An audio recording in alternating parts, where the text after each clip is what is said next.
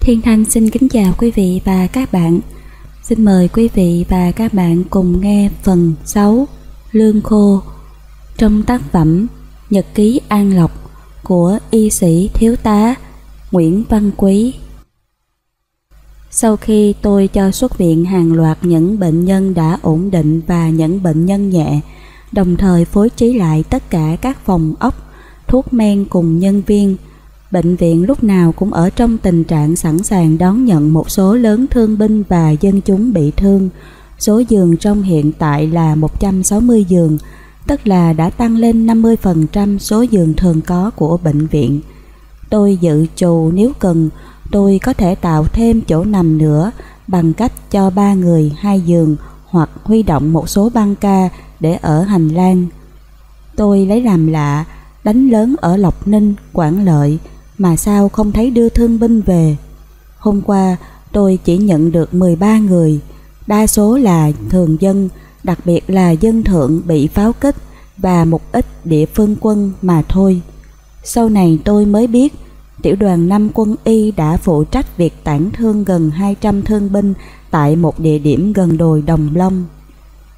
Mỗi buổi sáng tôi đứng dưới hiên phòng giải phẫu chờ người mang bệnh tới. Họ dùng đủ mọi phương tiện có thể chuyển bệnh đến nhà thương. Khi thì họ dùng xe lam, xe bò, xe kéo và thường là khênh bằng võng hay cán. Từ ngày xảy ra cuộc chiến, chúng tôi chỉ lo cấp cứu mà không phải khám ngoại chẩn nữa. Đó là điều thích thú nhất đối với tôi. Những bệnh nội khoa và những bệnh tái khám cũng không thấy tới. Khám ngoại chẩn là công việc buồn nản nhất. Bình thường tôi với bác sĩ Chí sáng nào cũng phải khám cho tới 11-12 giờ mới hết bệnh. Đa số người đến khám đều không có bệnh gì nặng cả, chỉ cảm sốt sơ sơ, lấy cớ khám bệnh để được xin nghỉ mấy ngày. Chuyện này làm mất thì giờ của tôi không ít, trong khi tôi còn lo mổ, săn sóc hậu giải phẫu, thăm bệnh trại ngoại khoa và nhi đồng. Những khi phải xử lý thường vụ, còn phải coi thêm cả nội khoa nữ và bảo sanh nữa, đôi khi làm không hết việc. Sáng nay, sau khi khám xong bệnh trại ngoại khoa, tôi đi về phòng hậu giải phẫu. Vừa đến đầu trại nội khoa nam, gặp thiếu tá Diệm, đầu đội mũ sắt, mình khoác áo giáp đàng hoàng. Gặp nhau chúng tôi đều mừng rỡ, đã ba ngày chúng tôi không thấy mặt nhau. Có nhiều tin tức tôi muốn được biết. Tôi chỉ phong phanh chiếc áo xanh không tay ba lỗ của phòng mổ. Tôi chưa cần mặc áo giáp liên tục vì thấy pháo kích cũng chưa nhiều. vả lại các nhân viên quân y đều không có áo giáp. Tôi muốn sống hòa đồng với họ và cũng muốn chứng tỏ mình không phải là tay nhát gan. Tôi kéo thiếu tá Diệm ngồi xuống ngay bậc thềm trại nội khoa. Tôi hỏi ông. Ông thấy tình hình giờ ra sao? Nguy lắm, Lộc Ninh mất liên lạc rồi. Ông quận trưởng Thịnh không biết sống chết ra sao.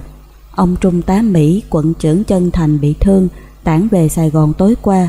Ông già Tuyên, chi khu phó chết rồi. Tôi giật mình hỏi lại. Thiếu tá Tuyên ấy hả? Thiếu tá Diệm gật đầu. Ông ấy mới lên làm chi khu phó Chân Thành được mấy ngày nay, bị trúng đạn pháo kích chết. Hai tháng trước, Thiếu tá Diệm có giới thiệu Thiếu tá Tuyên với tôi, nhờ tôi chữa dùm căn bệnh xìu xìu ẩn ẩn của ông. Theo lời Thiếu tá Diệm, ông mới cưới bà vợ trẻ được mấy năm nay, muốn có một cậu con trai nữa và nhất là muốn làm cho bà xã hài lòng. Tôi nhìn ông Tuyên thấy người vui vẻ, hơi gầy một chút, tóc đã hoa râm. Bề ngoài thấy nội lực có vẻ không được thâm hậu cho lắm. Thấy tôi còn trầm ngâm suy nghĩ, Ông Tuyên tưởng tôi thoái thác, bèn năn nỉ. Bác sĩ cố giúp tôi, nếu thành công tôi không quên ơn bác sĩ đâu. Ông Diệm cũng nói thêm vào. Ông này có mấy tay đàn em hay đi săn nai lắm, nếu bác sĩ giúp, thế nào chúng mình cũng có một đùi nai nhậu. Sau khi hỏi sơ qua, tôi biết căn bệnh của ông chẳng có gì, chỉ là vấn đề tâm lý thôi, công vụ bận biệu thành ra hết hứng thú, chứ ông già Tuyên không có sao cả. Sau khi trang bị cho ông một số dữ kiện tâm lý, tôi biên cho ông một cái toa, chích mỗi tháng một lần. Tôi nói với ông già Tuyên đó là thần dược đấy, Thế là ông yên chí hân hoan ra về. Nửa tháng sau, ông Diệm cho biết thiếu tá Tuyên nhờ tôi gửi lời cảm ơn ông và nói thuốc rất công hiệu. Ông còn nhắn thêm rằng ông sẽ mang một đùi nai tới biếu tôi một ngày rất gần đây. Nay được tin ông đã vĩnh viễn giả từ vũ khí, thì đùi nai của tôi cũng tiêu diêu luôn. Tuy vậy tôi cũng thấy có phần vui vì ít ra ông già Tuyên cũng đã được hài lòng, bà Tuyên cũng hài lòng, mặc dù trong một thời gian không được dài lắm. Chúng tôi đang ngồi nói chuyện, thiếu úy thu từ văn phòng chạy lại. Chào thiếu tá, xin thiếu tá cấp cho bệnh viện ít lương khô, không thì anh em đói quá. Thiếu tá Diệm gật đầu. Rồi, cho quân số bệnh viện tiểu khu là bao nhiêu người? Dạ thưa 70 người. Thiếu tá Diệm với tay rút cây viết bi dưới nách áo trái nói Ông kiếm cho tôi mảnh giấy, tôi biên mấy chữ rồi cho người sang bên trung tâm quản trị tiếp vận lãnh về cho anh em. Thu vội chạy về văn phòng lấy tờ giấy trắng đưa cho ông Diệm. Ông đặt tờ giấy trên đùi, hí hoái viết rồi đưa cho Thu dặn. Đây, tôi cấp cho bệnh viện 70 phần khô trong 3 ngày, cho người đi lãnh ngay rồi chia cho anh em. Thu cầm tờ giấy, cười rất tươi, luôn mồm cảm ơn thiếu tá Diệm. Ông Diệm hít hơi thuốc cuối cùng, rồi búng mạnh mẫu thuốc lá ra xa, rồi hỏi tôi. Ở đây, hầm hố có kiên cố không? Có ba cái dành cho bệnh nhân, tôi không có hầm. Ông Diệm dướng mắt lên ngạc nhiên hỏi. Thế lúc pháo kích ông núp ở đâu? Tôi cười, dựa lưng vào chân cột hành lang. Chui vào gầm giường nghe radio. Diệm cười gật cù. Ngon, thế không sợ sao? Sợ chứ, nhưng đạn tránh người chứ mình đâu tránh được đạn. Tôi tiếp. Thế còn bộ chỉ huy tiểu khu thì sao? Hầm rộng tốt lắm. Liệu chịu nổi hỏa tiễn không? Thiếu ta Diệm tin tưởng. Dư sức, hầm ngầm của Mỹ làm mà, bê tông cốt sắt dày 5 tấc, trên còn 6 lớp bao cát với vỉ sắt nữa. Này, hay ông sang đó ở cho chắc ăn? Tôi lắc đầu trả lời. Tôi không thể bỏ bệnh viện được, ông yên trí đi, tôi cứu người, chả lẽ trời không thương sao? Chỉ cần ông tiếp tế lương thực cho tụi tôi đầy đủ là tốt rồi. Rồi, chuyện đó tôi với ông thì khỏi lo. Thôi, tôi về bên đó đây. Tôi đứng dậy bắt tay thiếu tá diệm, ông lên xe jeep về bên tiểu khu. Thiếu ý thu gọi tôi. Bác sĩ quý, có điện thoại bác sĩ Phúc gọi. Tôi chạy vội về văn phòng cầm ống điện thoại lên. Alo, tôi bác sĩ quý ngay đây. Tiếng bác sĩ Phúc xa vắng từ đầu dây bên kia. Alo, anh quý đó hả? Tình hình bây giờ ra sao? Việc cộng hâm đánh Bình Long vẫn pháo kích lai rai. Ông già Long gác cổng bệnh viện chết rồi. Vậy hả? Thương binh nhiều không? Chưa có gì, phần nhiều là dân thôi. Làm việc bù đầu rồi, mong anh về giúp tôi một tay. Tôi sẽ lên ngay, hiện giờ đang kiếm phương tiện. Trực thăng ở Biên Hòa hiếm lắm, chỉ ưu tiên cho hành quân thôi. Anh cần thuốc men gì thêm không? Có, anh xin cho tôi thêm nước biển đủ loại, máu, dây chuyền máu và thuốc trụ sinh, bông băng. Tôi nghe rõ rồi, dứt nghe. Cho tôi gửi lời thăm tất cả anh em nghe không? Tôi đặt máy xuống, Thu hỏi. Bác sĩ Phúc nói bao giờ lên đây, bác sĩ? Tôi nhún vai trả lời. Chưa biết được, còn kẹt trực thăng. Thu cười khành khạch. Kẹt dài dài là phè ở Sài Gòn rồi. Tôi im lặng nhìn Thu. Mình ở đây tuy vậy còn an toàn hơn, đi trực thăng lên đây thật ra rất nguy hiểm, dễ bị bắn lầm, nhất là lúc hạ cánh xuống bãi đáp. Thôi, ông cho tụi nó đi lãnh lương khô chưa? Dạ chưa. Tôi câu mày. Ông cho người đi lấy ngay đi. Thiếu ý thu ra ngoài một lát trở vào nói Thưa bác sĩ, tụi nó không dám đi vì không có áo giáp, nón sắt chỗ đó pháo kích dữ lắm. Tôi cười nói, mới pháo sơ sơ đã lạnh cẳng rồi, thôi ông ra kiếm bốn người tình nguyện đi với tôi. Thiếu ý thu nói, Nếu bác sĩ đi, tôi lái xe cho bác sĩ. Thấy tôi đích thân đi, họ không còn ngần ngại nữa. Ba người theo tôi và thiếu úy Thu lên chiếc xe đót hồng thập tự. Thu dê xe rồi vọt ra cổng bệnh viện, coi có vẻ hùng dũng lắm. Tôi ngoảnh lại phía sau, thấy có trung sĩ Đắc, hạ sĩ Hội, hạ sĩ Đức. Đường từ bệnh viện đi tới trung tâm quản trị tiếp vận tiểu khu Bình Long là một đường thẳng dài chừng 400 thước, đi ngay sau bộ tư lệnh sư đoàn 5. Đường đi khó vì những chướng ngại vật đầy mặt lộ để chặn xe tăng, xe phải lách qua lách lại những chướng ngại vật ấy một cách khó khăn. Trung tâm quản trị tiếp vận là một trong những căn cứ quân sự bị pháo kích nhiều nhất. Dọc đường, tôi thấy những hố đạn pháo kích rải rác đó đây, cày sâu xuống mặt đường nhựa. Con đường này đi rất nguy hiểm vì nó nằm như một đường viền trống trải của ngọn đồi. Địch quân có thể trông thấy được mọi sự di chuyển từ một nơi cách xa hàng hai ba cây số. Chúng tôi ngồi trong xe, hồi hộp nghĩ tới những bất trắc có thể xảy ra. Thật ra, việc này không cần tôi phải đi, nhưng thấy lính ngại ngùng là cấp chỉ huy, đôi khi phải biểu diễn vài đường cho lính nó phục mới điều khiển được. Gần tới cổng vào trung tâm, một tiếng rít của đạn trái phá bay ngang qua đầu rồi nổ ở sân vận động cách chỗ chúng tôi chừng 100 thước.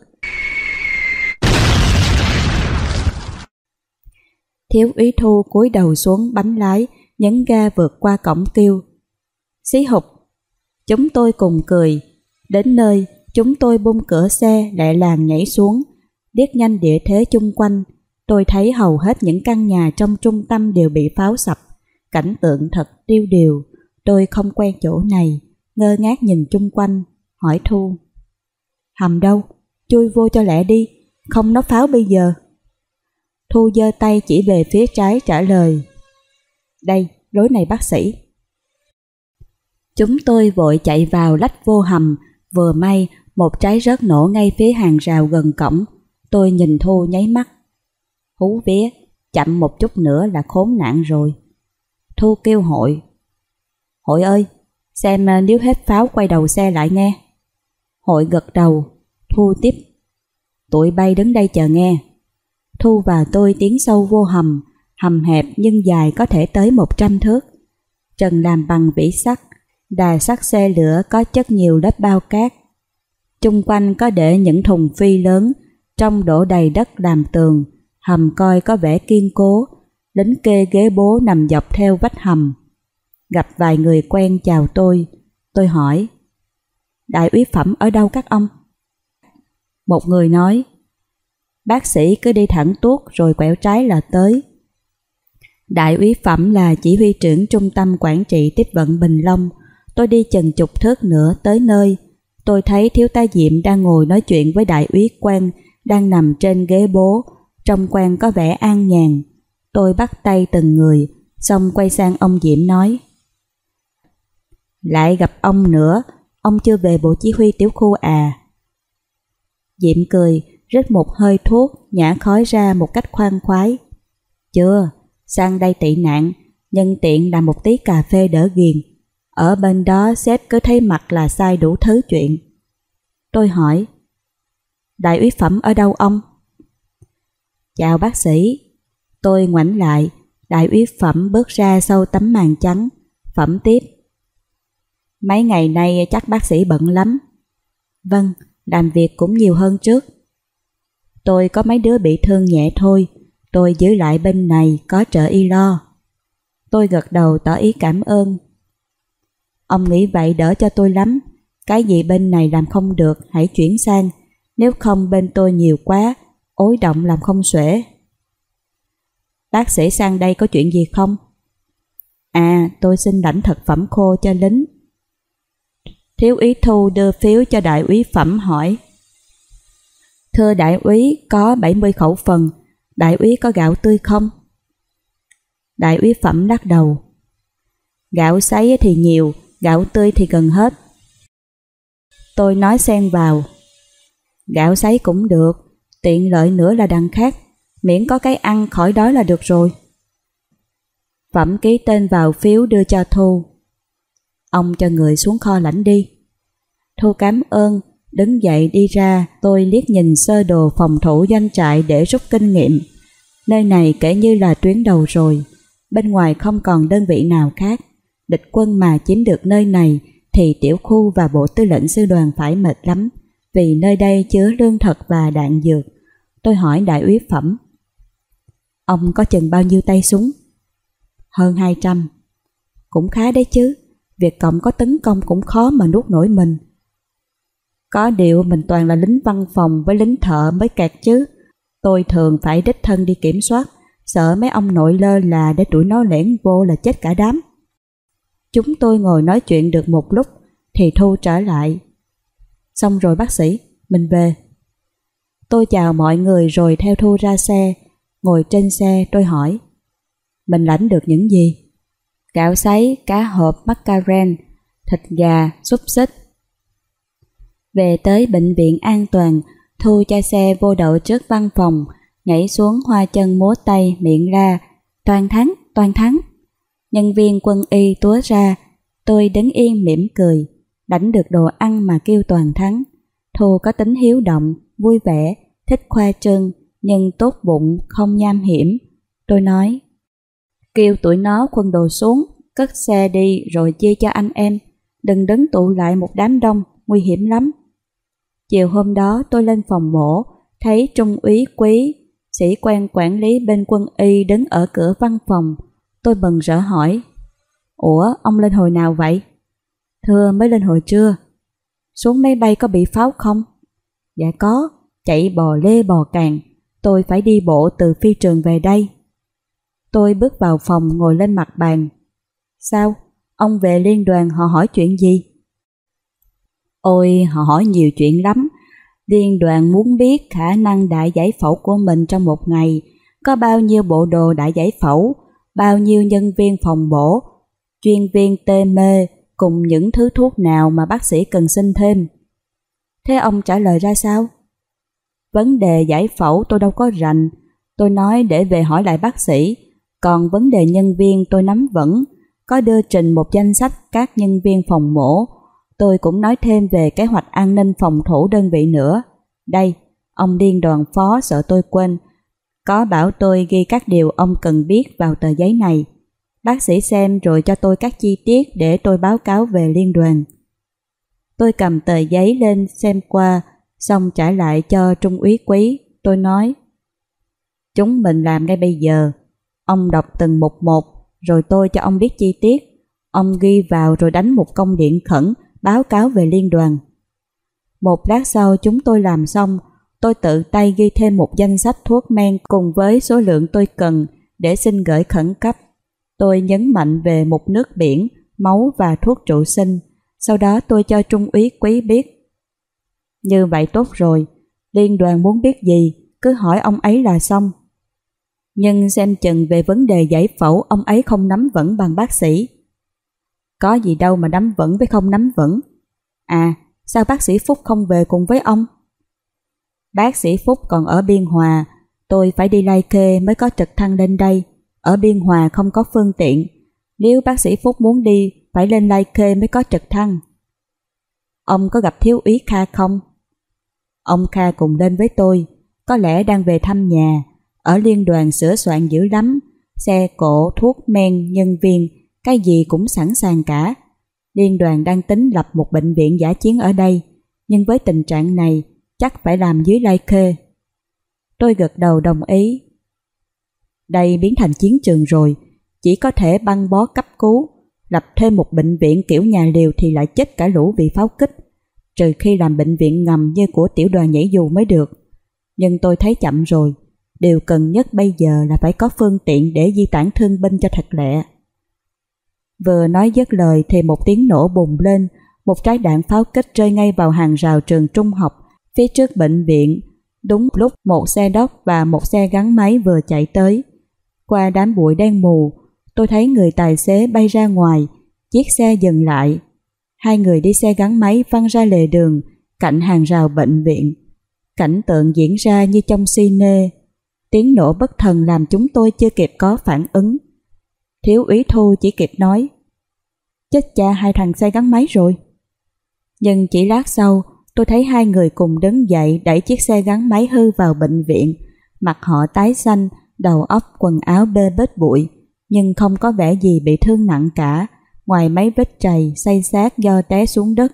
Người tài xế xe đốc cũng bị thương nhẹ thôi. Ai nấy đều cho là họ may mắn. Xin cảm ơn tác giả và cảm ơn quý vị cùng các bạn đã theo dõi. Xin hẹn gặp lại ở kỳ tiếp theo.